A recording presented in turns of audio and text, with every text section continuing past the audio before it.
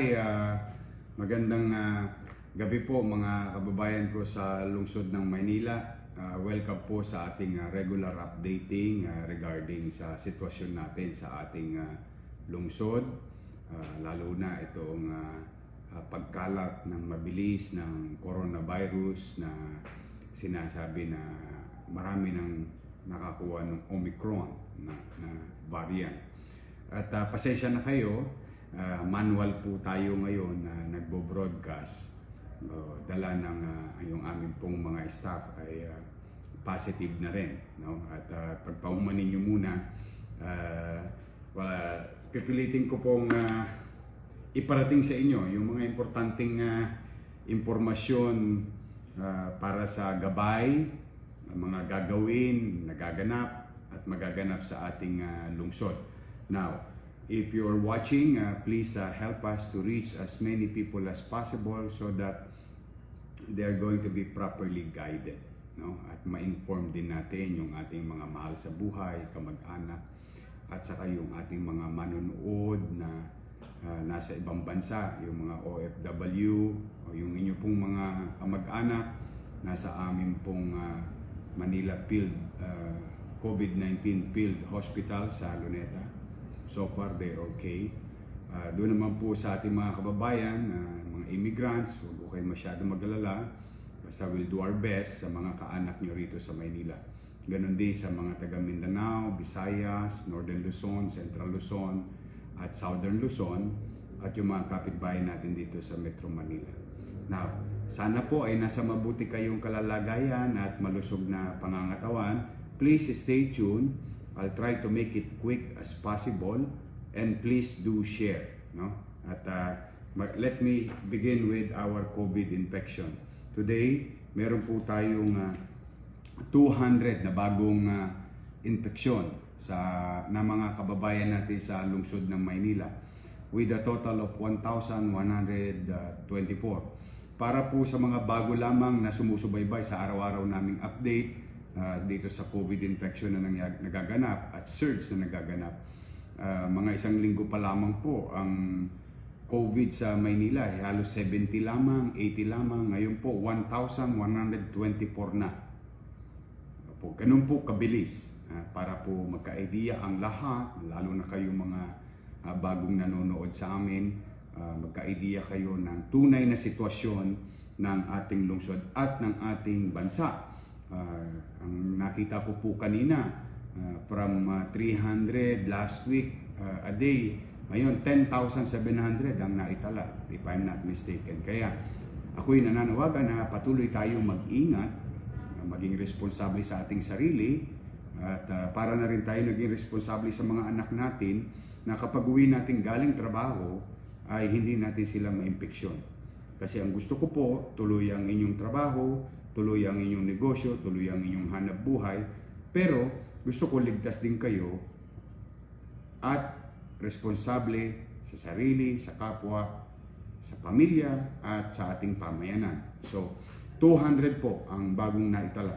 At uh, salamat sa Diyos, 71 naman po ang naitalang gumaling na. At ligtas na sa panganib na dahil sa infeksyon ng uh, COVID-19. At nakikiramay po ako sa isang pamilya sapagkat meron po tayo isang nasawi ngayong araw na ito, dala ng impeksyon ng uh, COVID-19. Kaya po mga kababayan, ako, doble, doble, doble ang ingat. Ngayon, kung sakali naman, halimbawa, at huwag naman loobin ng Diyos, uh, kung sakali na kayo may impeksyon at mangangailangan kayo ng gamot, mga kababayan natin sa lungsod at ang inyong mga kamag-anak uh, kung saan man bahagi ng bansa o ng Metro Manila o ng Luzon. At kayo po ay makaka-avail ng ating mga gamot. Mga gamot na meron sa iba't ibang mundo, ibang bahagi ng ating mundo, sa ibang matatayog na bansa. Meron din po tayo sa Maynila. Tulad ng Remdesivir, tocilizumab, uh, baricitinib, at saka molnupiravir. Uh, inyo pong maalala ay dumating na po yung ating mga additional orders. No? Salamat sa Diyos, napaaga ang dating.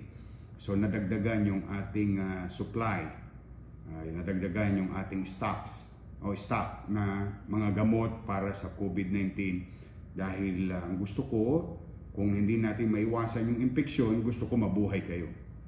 Uh, lahat mabuhay hanggat maaari. Bawat tao, uh, tao muna. No? Uh, importante ay ang buhay maisalba natin. Uh, at huwag kayo mahihiya. Uh, mayaman, middle class, mahirap sa Maynila pantay-pantay. No? Ang importante, yung buhay ay pare-pareho ang halaga. No?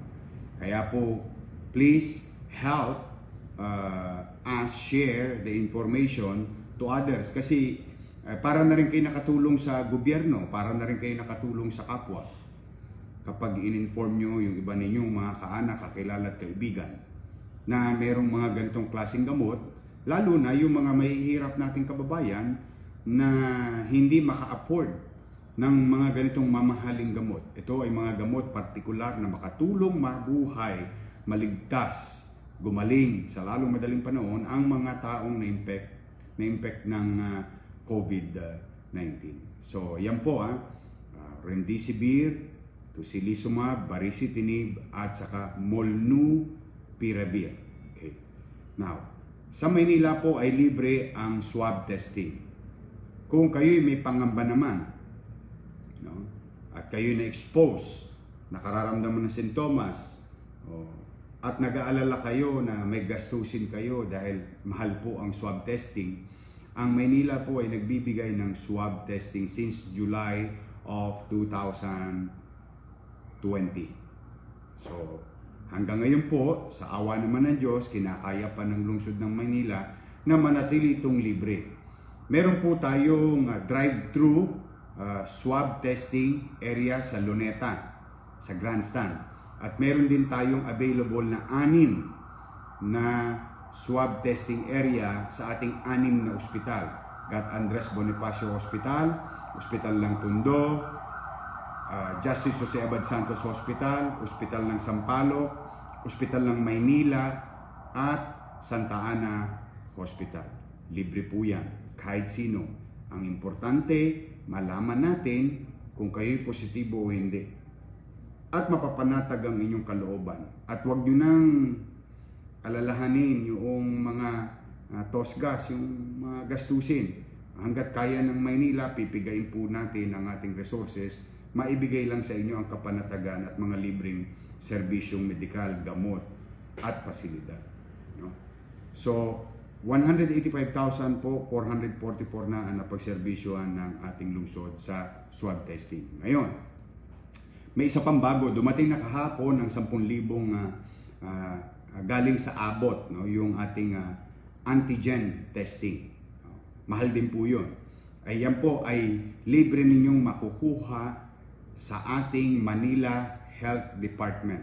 Tingnan po ninyo ang aming mga uh, Facebook account, yung Facebook ko, ito pinapanoodan ninyo, at saka yung Facebook account ng Manila Health Department. Para sa mga numero na ininyong pwedeng magamit no? at matawagan. At uh, pagpapasensyahan po ninyo ay uh, talaga pong napakarami pong tumatawag ngayon. Uh, in fact, uh, modesty aside, pati dito sa opisina ko, nachachambahan yung numero kasi dikit-dikit po yung number namin. But just the same, no? Eh, huwag kayong mahihiya. No? Huwag kayong mangangamba. No? Basta hanggat kaya natin ibigay ng libre, ibibigay natin ng libre yung antigen test kit on top of our swab testing or RT-PCR, the gold standard of testing. Okay? Ang ating naman sitwasyon sa ating uh, uh, mga ospital, quarantine facility, ang ating pong ating uh, ang ating pong anim na ospital ng lungsod ng Maynila ay nasa 53% na po ang occupancy rate out of 494 COVID bed capacity, 263 po ang okupado. Ang ating pong Manila COVID-19 Field Hospital na may 344 bed capacity ay 331 na po ang okupado. 96%. Okay. Ang atin naman pong positive cases na sa quarantine facility na out of 691 COVID uh, bed capacity, 131 na po ang nasa ating quarantine facility. 19%. So, yan po mga kababayan, ang ating uh, COVID bed capacity situation as of today, 5 p.m. Ngayon naman mga kababayan, maraming salamat sa inyo.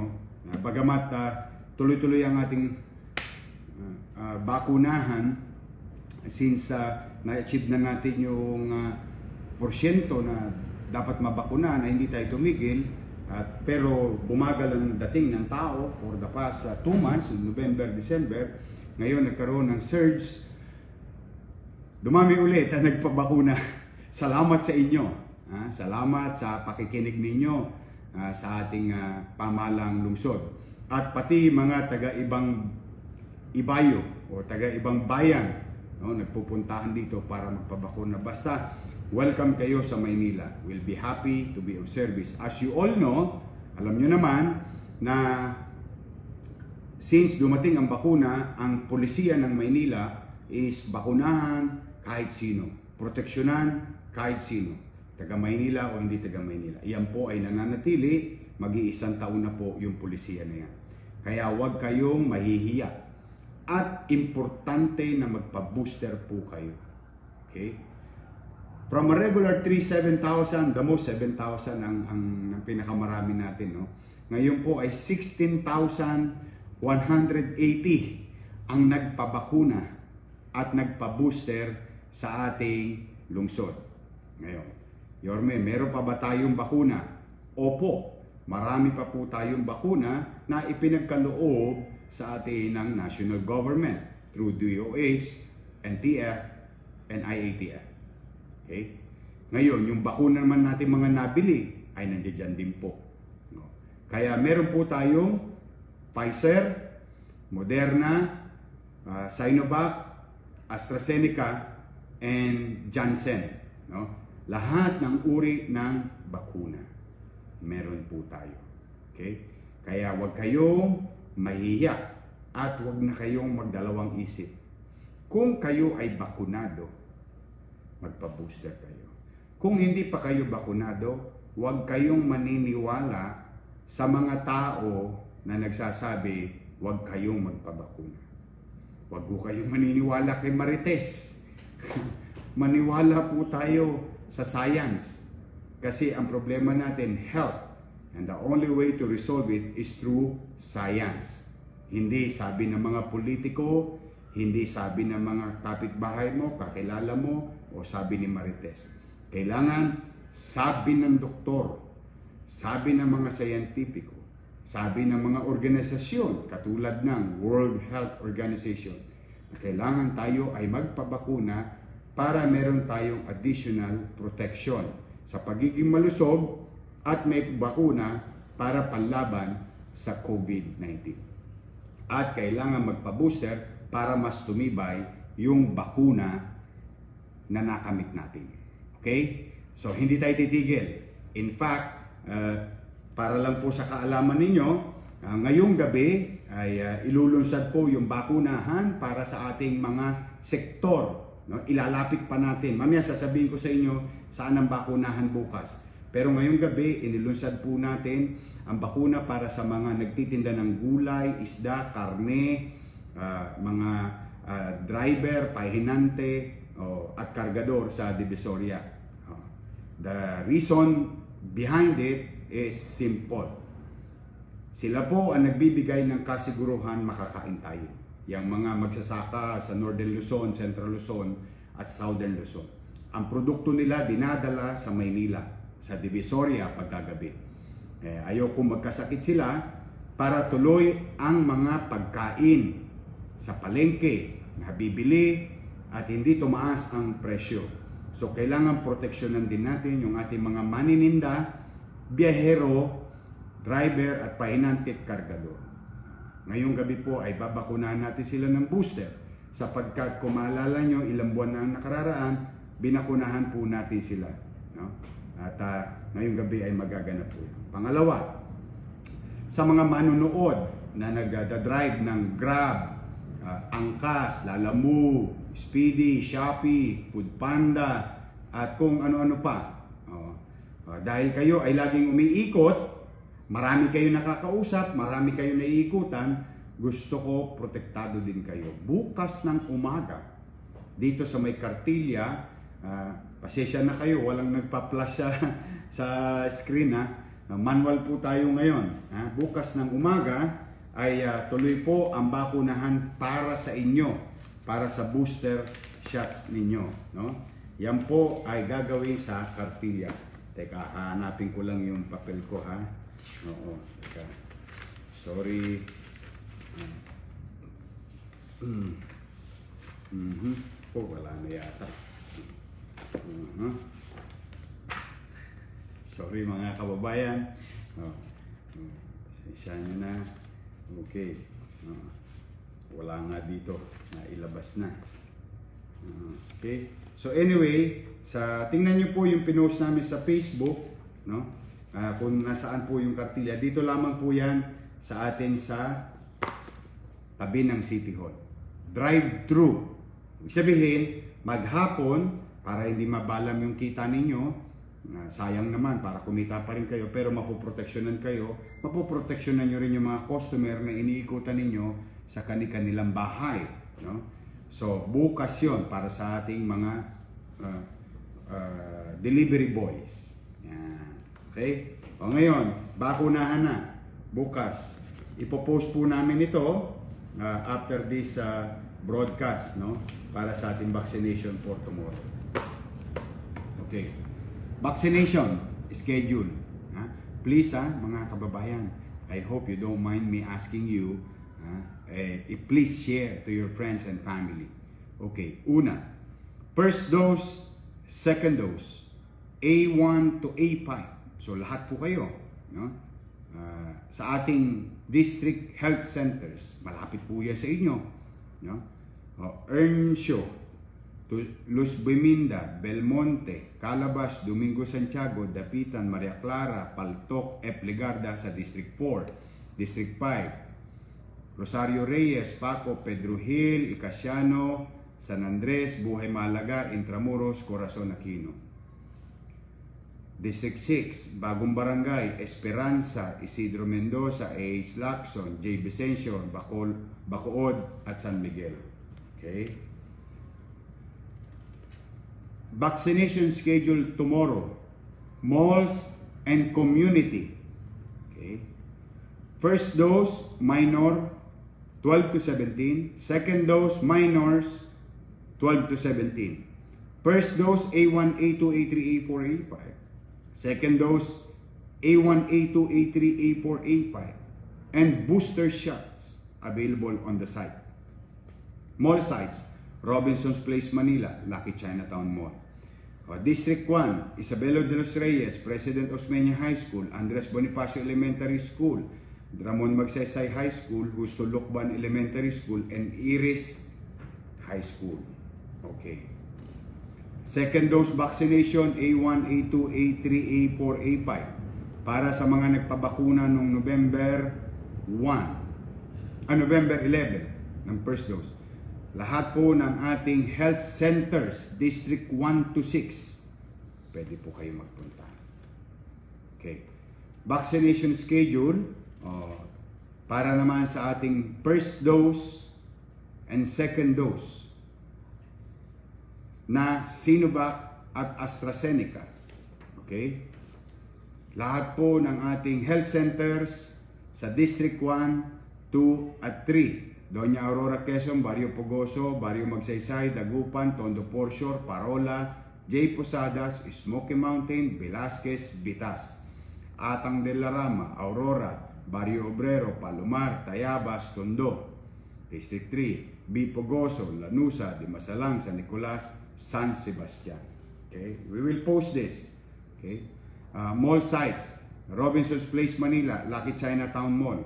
Ito naman po para sa mga second dose. At lahat ng ating health centers, ganun din, para sa ating aning na eskwelahan, Isabelo de los Reyes, Sergio Osmeña, Andres Bonifacio, Ramon Magsaysay, Justo Lokban, and Iris. Okay. Now, dahil po bigla tayo nagsabay-sabay, ay magtsatsaga po tayo ha. No, konting tiis, no, konting unawaan sa isa't isa. No, eh, nandyan na yan, eh, bigla tayong kayong natataranta o dahil may surge. Pero alam nyo din na hindi tumigil ang inyong pamahalang lungsod ng papabakuna kahit na na-achieve na natin yung tamang numero. But then again, that is water under the bridge. Let's go work hand in hand, mamamayan at pamahalaan. Pangatlo, sa ating pong mga kababayan, lalo na sa Quiapo, no? ay uh, kanina po pinirmahan ko na ang executive order uh, dahil uh, hindi po tayo magkakaroon ng translasyon ngayong kapistahan ng Poong Nazareno. Pangalawa, maraming salamat uh, kay uh, Monsignor Coronel at sampu ng mga liderato ng, at kasapi ng simbahan ng Quiapo. Maraming salamat sa inyong suporta. Wala po tayong physical mass. Okay? Wala rin po mga video wall sa labas ng Quiapo. Magkakaroon lamang po bilang handog sa inyo ng Quiapo Parish yung online mass. Kaya nakikisuyo po ko, huwag po kayong pumunta sa Quiapo kasi wala naman po kayong makikita. Wala po tayong event.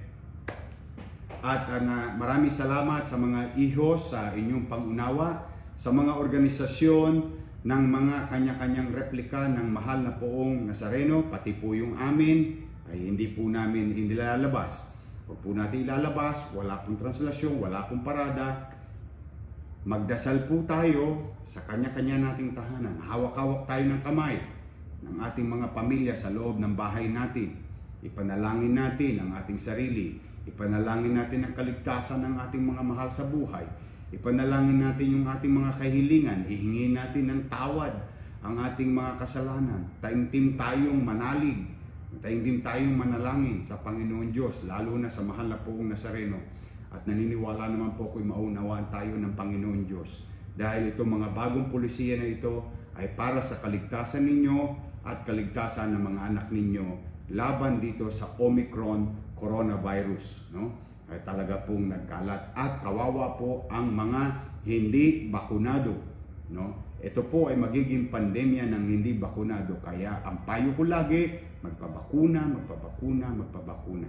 Mahalagang magpabakuna tayo at nang maproteksyonan natin ang ating sarili dahil malaki ang tsansa kahit bakunado ka na ay pwede ka pa rin ma-infect ng coronavirus katulad ko at katulad ng iba. Ngunit mas malaki ang risk kapag hindi ka bakunado at na-infect ka ng coronavirus. So muli, magdasal tayo ng taimtim. Mas kausapin natin ng Diyos patatagin natin ang ating uh, pananalig sa Kanya. Alam ko, uh, ngayong mga panahon na to, ang tanging angkla natin sa buhay ay ang ating pananampalataya sa Panginoon Diyos, lalo na sa ating mahal na pong Nazareno sa Kanyang kapistahan itong darating na mga araw. Sa ating mga taga-Quiapo rin, lahat na nasasakop ng piyesta may liquor ban. Bawal magtinda ng alak, bawal po mag-inuman. Okay? Kailangan ko po ng tulong ninyo, kailangan ko po ng pakikiisa ninyo. Dahil kailangan po kayo. Hindi ko po ito kaya na mag-isa lang. Kailangan tulong-tulong tayo. Iraraos natin. Nagawa na natin to dati. Nairaos natin sa Delta, ang taong bayan, iniligtas natin. Uh, hanggat kaya natin iligtas, niyakap natin ang kaya natin yakapin. Bawat kapwa natin, kahit taga saan sila, mabuhay lang ang tao. Tingin ko, Nagawa na natin dati, magagawa natin ulit. Pero sobrang delikado po talaga ang panahon ngayon. Mabilis ang pagkakahawa-hawa kasi ang lahat na nahahawa, ang lahat ng COVID-19 infection, madami po sa kanila ay mild. Akala mo'y wala, pero ikaw pala ay carrier na. So ingat, ingat, ingat. So kooperasyon ng bawat isa, pagtutulungan ng pamahalaan at mamamayan. Tuloy ang hanap buhay Tuloy tayo. We can learn how to live with COVID-19 and go back to work safely. So muli, mga kababayan ko, dyan po nagtatapos ang ating broadcast. Please do share. Basta, mga kababayan, ngayong gabi, manalangin tayo, humingi tayo ng tawad sa mga kasalanan natin sa buhay, Ipanalangin natin na may mga sakit, hagkanawa ng kamay ng Panginoon Diyos nang gumaling na sila sa lalong madaling panahon. Ipanalangin natin ang mga pamilya ng mga nasawi at kaluluwa ng nasawi dahil sa infeksyon na ito. At ipanalangin natin ang ating mga kababayang mahihirap na magkaroon na ng kagaangan sa buhay. Sama-sama tayong manalangin, sana, nawa, may awa Diyos, nawa, matapos ng pandemyang ito sa Maynila, sa bansa at sa buong mundo. Basta, kusang disiplina lamang po ang hinihingi ko sa inyo at susuklian ko po yan kami ni Vice Mayor Hani Lacuna at sampu ng mga kawani ng pamalang lungsod ng Maynila ng isang mainam, masinop at epesyenteng paglilingkod sa inyo. Hindi hindi ko po kayo iiwan. Okay? We will be there for you. May gobyerno sa lungsod ng Maynila. Mag-iingat po kayo, mahal ko po kayo lahat, pero kailangan mahalin nyo rin ang inyong sarili at ang inyong mga pamilya. Magandang gabi po, pagpalain nawa kayo ng poong may kapal. Manila, God first. Thank you.